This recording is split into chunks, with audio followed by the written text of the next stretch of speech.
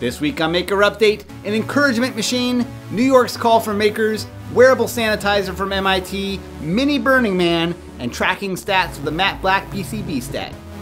Hey, I'm Donald Bell, and welcome to another Maker Update. I hope you're hanging in there and staying safe, especially with all the fires.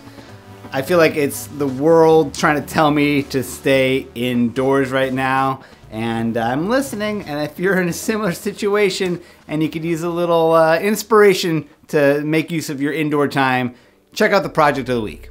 On his YouTube channel, Jay from JBV Creative shows how he created this encouragement machine. It's a mechanical, 3D printed, and laser cut design that presses a stamp down on a reel of paper that is guided through to a pair of scissors and sliced. The extra clever bit here that, for me, makes this a work of art is that the stamp says you can't do it, but the machine is calibrated so that the scissors first cut off the T and then cut off the rest of the edited encouraging note.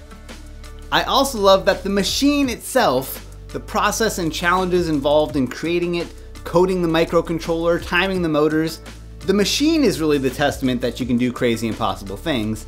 The fact that it prints it out for you is just icing on the cake. Jay hasn't shared the code or design files for this, but considering it's more of a one-off mechanical sculpture, I don't blame him. Check out the whole video and give him a sub if you're feeling generous. Jay's channel is brand new, and I'm excited to see more projects from him. Now for some news, the Empire State Maker Faire has opened their call for makers. This is an unprecedented new online maker fair from New York. Basically, all of the regional maker fairs in New York are banding together to create what will hopefully be a massive online event. The online fair takes place across two days, October 16th and 17th. Makers from all over the world are encouraged to apply. You could showcase a project, give a talk, give a demonstration, or teach a skill. The application deadline is September 20th. Hackaday has announced their second circuit sculpture contest. If you've been looking for an excuse to try your hand at circuit sculpture or freeform circuit design, this is your chance.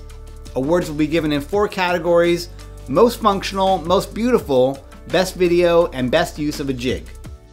Issue 34 of Hackspace Magazine is now available. The issue focuses on Adafruit featherboards and programming in CircuitPython. The big treat for me though is that they included a write-up of my VK01 cocktail machine. If you can't get your hands on a physical copy, I have a link in the description where you can download the full PDF. Now for more projects on Hackaday, check out how Albert Phan made this battery-powered device for manually keeping track of stats during tabletop role-playing games. The design was specifically made for the game Hyper Light Drifter, but there's no reason it can't be repurposed for other games too. By squeezing the edges of the device, you can advance the LEDs up and down. Now what makes it so unique is that the top section is made from three printed circuit boards stacked on top of each other. There's the top layer with all the graphics and masked off squares for the LEDs to shine through. Then there's the middle board, which just acts as a spacer with areas carved out for the LEDs and the circuitry of the bottom board, which has all the components. The bottom board also has six momentary switches on the left and right side, which are what actually get triggered when you squeeze the marked areas on the top board. It's all super clever, and I think it's great to see some of these badge life techniques make their way into other projects. For those who dare to venture out of their house, the MIT Media Lab has an official guide on how to make this wrist-mounted sanitizer. You can fill this up with either isopropyl alcohol or hand sanitizer. It works in two modes. The first will just dispense sanitizer into your hands when you press the first button. The second button activates a proactive mode, which will spray out sanitizer automatically when it detects that you're about to place your hand on something, like a doorknob. You can find the code, the STL files, and the bill of materials on the MIT Media Lab GitHub page. And while it doesn't seem like we really need anything else burning at the moment, perhaps you'd like to have your own personal backyard mini Burning Man. And I mean like the actual guy, not the hallucinating in your underwear bit. I feel like we've all been doing that since March. On Instructables, Bryan Serinese demonstrates how to assemble this laser cut Burning Man kit by Trammell Hudson. There are dozens of little pieces to fit and glue together, but the result looks pretty great, and hopefully it looks too good to burn because, seriously, no more fires. Now for some tips and tools. Do you want the ultimate, one-of-a-kind, truly tactile keyboard? In her quest for customization, Billie Ruben designed these embroiderable, 3D printed keycaps. Now you can custom stitch your own letters and characters for the pinnacle of luxury keyboard feel. On the Cool Tools channel, Sean Michael Ragan demonstrates his favorite set of transfer punches I honestly had never seen transfer punches used before or understood their purpose, but now I get it. If you need to duplicate the exact size and position of one hole to another surface, these are the way to go.